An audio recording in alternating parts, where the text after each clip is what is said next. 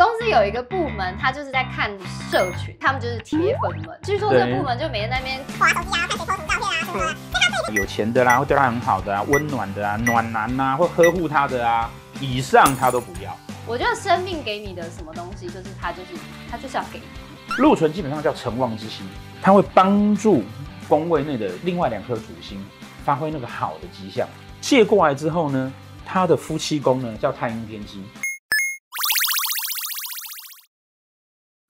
好，大家好，今天的来宾很特别，我们互相为彼此的粉丝。有个美丽的空姐出了一本书，我就去问她说：说，哎，你这个书买了，可不可以签名？这样子，就这一本哈，三万英尺高空的生活。早期有在玩五名小站啊，或者是有在追踪美女的，可能就会知道这个 Roy。我去问他说，可不可以跟他要签名？我们就这样开始联络起来。然后才发现呢，他超有趣，一定很多人想要知道说，那为什么要从一个大家觉得还不错的工作去追求自己的梦想？让我们来介绍一下。今天的来宾，Hello，大家好，我是周怡王小凡。我一直以来对命理类、超自然啊，或者是什么身心灵都很有兴趣，看了非常非常多老师在 YouTube 的影片，然后还有一些文章。因为我觉得命理实在是一件很有趣的事情。有趣的点不在于我很迷信或者什么，其实是因为我非常贴齿，我想要知道为什么会这样，所以我就一直不断的接触各种不同的算命，不管是什么塔罗牌啊、占卜啊，我甚至还有去试过那个米卦。访谈前呢，我跟他聊了大概快一个小时，他充分表现出天同星的人的特质。他觉得他的人生没什么转折，人生没有什么大事，人生没有什么过不去的事，人生没有什么痛苦点。可是其实他的人生有一些很大的变动点。那他为什么人生不会有这样子的感觉？其实是因为那个天同星。我觉得我发生了很多事情，对很多人来说应该会。是非常痛苦或是非常没有办法接受的事情。我之前在航空公司飞嘛，一般而言，大家都会觉得是一个很不错的工作，你可以到处玩、到处看，然后薪水也不错，该飞的、该玩的、该看的、该吃的，你该体验的，其实全部都体验过了。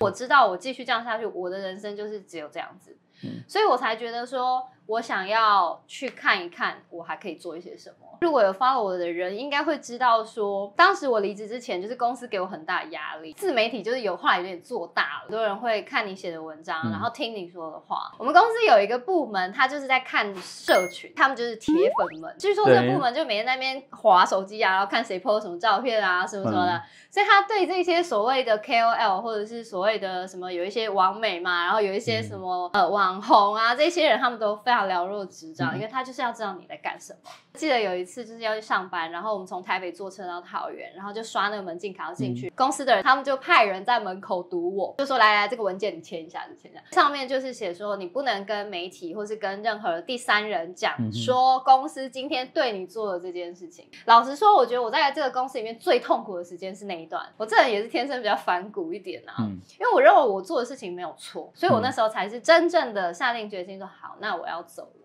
我在飞倒数那几趟的时候，很资深的座厂长来跟我讲说：“你把你的辞呈去抽回来。”嗯，他很认真跟我讲说：“这个工作非常的稳定，好好的做下去，你不要再想其他的事情。”他说：“你把你的辞呈收回来。”我老实说，我有一度闪过一点点犹豫。但是我想要有更多的可能性，我后来又进了广播电台，就主持广播节目，主持了行脚节目的外景，拍影片嘛。我如果在飞，我之前是没有时间可以拍影片的。而且我还出了一本书，各方面就是我可以做的，我喜欢的，我就去尝试。我觉得生命给你的什么东西，就是它就是它就是要给你，嗯，它不管它今天是好的是坏的，我甚至会觉得说，今天来了一个小人，这个小人其实我书里面有写，嗯。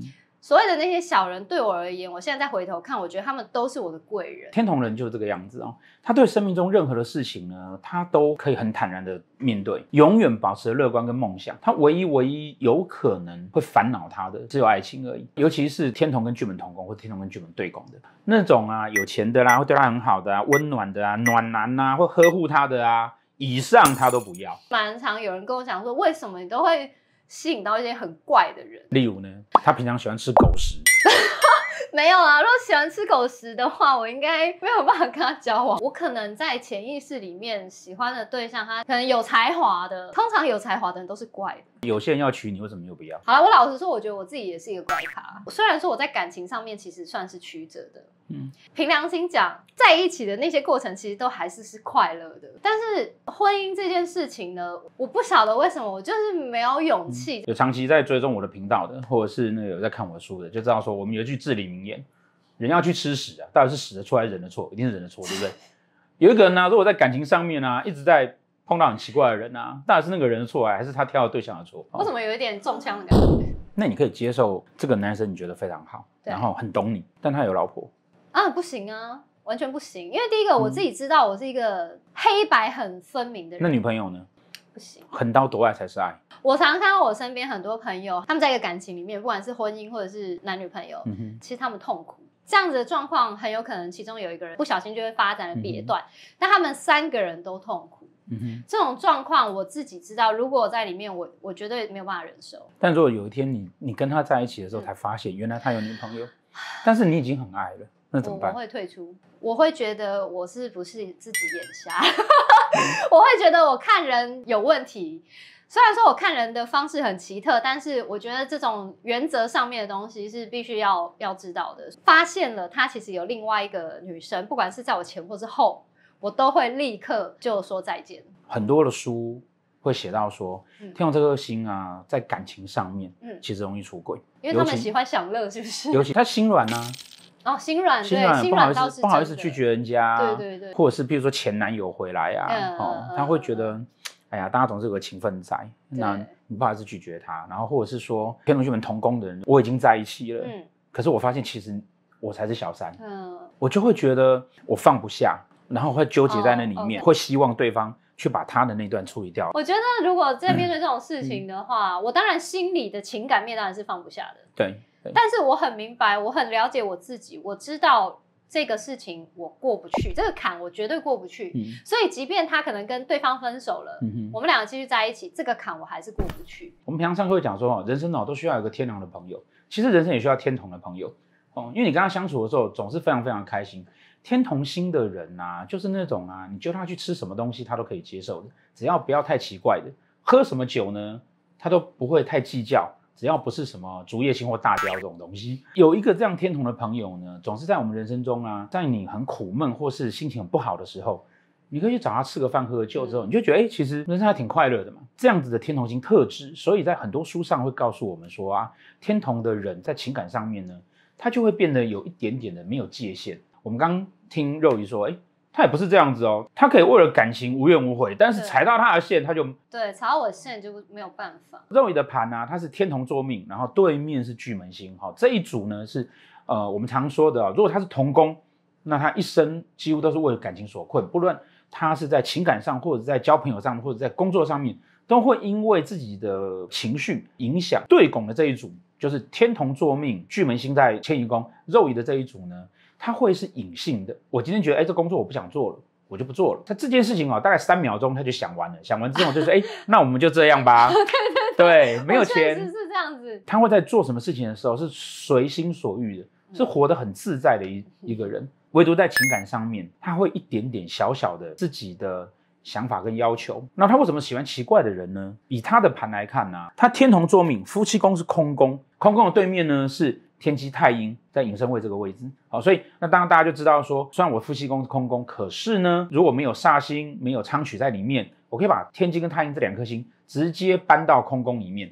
所以某个层面来说，可以说他其实在情感的态度上，他就是天机跟太阴的。天机太阴再加上天同，我们看起来就是很花心放荡。但是为什么现实的情况没有呢？好，跟书上讲的东西不一样。好，这边我要讲很重要的重点就是啊，天机跟太阴搬过来之后呢，我们会发现啊。他的夫妻宫里面有一颗星叫天行星，呃，你在网络上会查到什么？呃，在命宫会刻苦啦、刑罚啦，然后老天给你的灾害啊，叭叭叭叭叭叭叭，哈。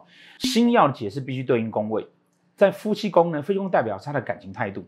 天行这颗星呢，主要两个解释啊，一个叫做老天给的灾害，另外一个呢叫做你对你自己的刻苦要求。那老天给的灾害啊，譬如说你出去车祸，譬如说你掉到水里面，呃，譬如说你做什么蠢事伤害到自己，哦，这种突如其来的灾害，这叫老天给的灾害。